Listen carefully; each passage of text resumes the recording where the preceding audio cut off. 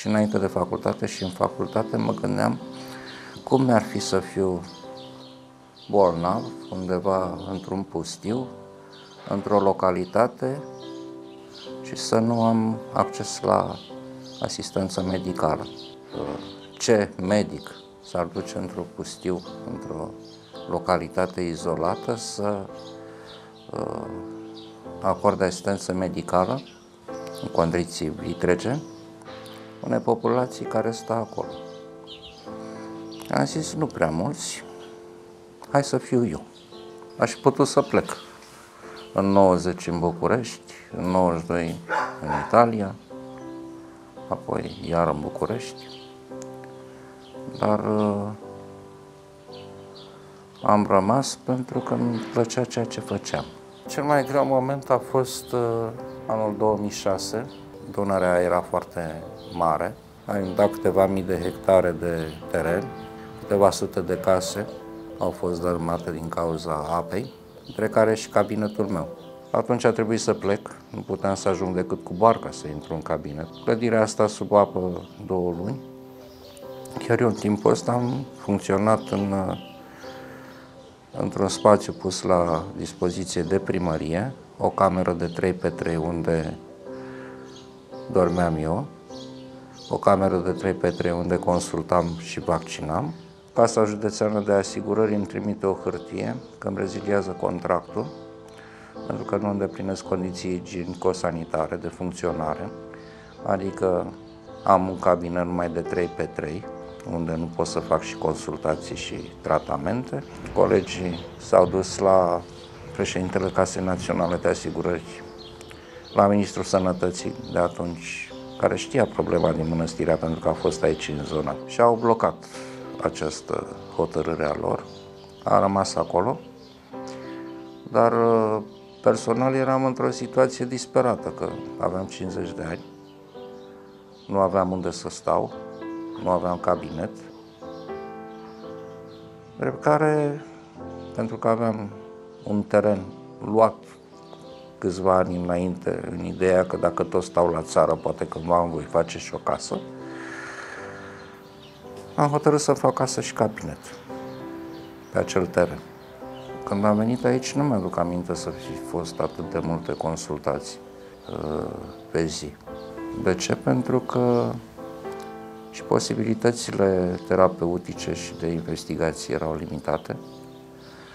Pe vremea comunismului, în afară de penicilină, streptomicină, canamicină și gentamicină injectabile, alte antibiotice nu aveam.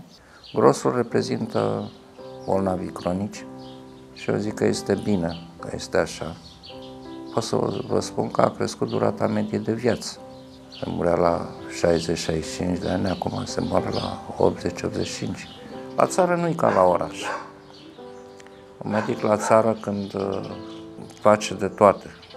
La oraș, dacă e uh, o plagă, o urgență la un copil, știe unde se ducă. Copilul la pediatrie, plaga la chirurgie, gravida la ginecologie sau obstetrică. Aici, primul la care apelează este medicul de familie. Eu mereu iau pastile.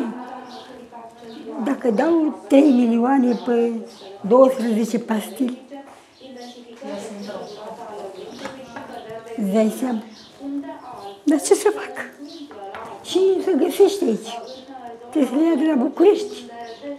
Norme. Fata, mama. E greu, mi-a spus cineva de o femeie că ea măretă până la Dumnezeu. Plânge fetele că a căzut și nu se mai face bine. Apoi la 5-6 doctori nu-i găsește boală. E un doctor foarte bun, e bine pregătit, e cu știrile la zi.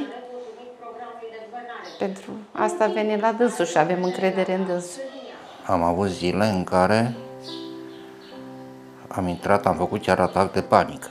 Aveam holul plin, curtea plină de pacienți.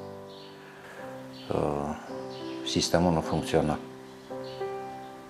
Stăteam câte jumătate de oră, o oră pentru o rețetă, pentru înregistrarea unei consultații. Oamenii erau nemulțumiți, vedeau că îi consultam și le spuneam să aștepte să le dau documentele. Și la televizor președintele casei spunea că sistemul funcționează. Iar pacienții erau ei revoltați. Pentru că erau aici și vedeau că nu funcționează, nu puteau să plece, că eu nu aveam de ce să-i țin. Contractul cadru, prin uh, ceea ce stipulează, ne împiedică să fim medici. Sunt pacienți care mi-au spus direct, dar dumneata ce doctor ești de nu poți să-mi dai medicamentul ăsta de mă trimiți la Călăraș sau Oltenița, dumneata nu ești medic? Eu spune, sunt medic, pot să ți-o dau pe rețetă simplă să-ți dau medicamentul respectiv, dar compensat nu am voie, îmi trebuie scrisoare medicală. Noi nu mai putem face investiții, nu mai putem face uh, cursuri de spe- alte specialități sau de competențe. Nu ne putem cumpăra un electrocardiograf, un uh, ecograf dacă vrem să facem ecografie, pentru că curicula ne permite dacă avem uh, competență pe așa ceva. În timp, numărul cred că va scădea și mai mult. Și medicina de familie și datorită veniturilor, dar și a birocrației, a lipsei de înțelegere, uh, nu va mai fi atractivă.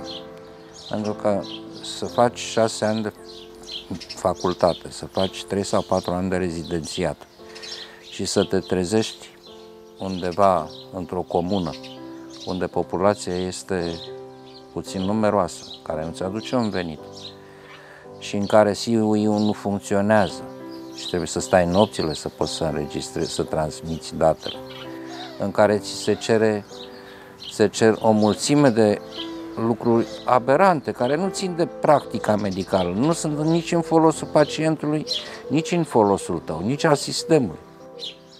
Atunci, de ce să meargă medicul acolo? După 2007 au fost ani de zile când pacienții îmi veneau și îmi spuneau, îi întrebam, deci ce ai pățit? Îmi spune, împlinez luna asta nu știu câți ani și am venit la un control. De ce? Pentru că așa era porni programul. În luna în care te-ai născut să faci acel control, oamenii învățaseră și ani de zile în luna respectivă, chiar dacă nu aveau nimic, veneau la un control. E, noi medici de familie aveam șansa asta, fantastică pentru țară și pentru oameni. Să descoperim mult înainte răul. În orice caz, aici îmi place, n-aș mai sta la oraș să mi se dea un apartament gratuit în București n-aș locui, că aici la mine e un paradis noaptea, ziua, foarte multă verdeață, copaci, păsări, animale de curte. Acolo înghesuială, claxoane, gălăgie. Nu, nu cred că mi-ar mai place.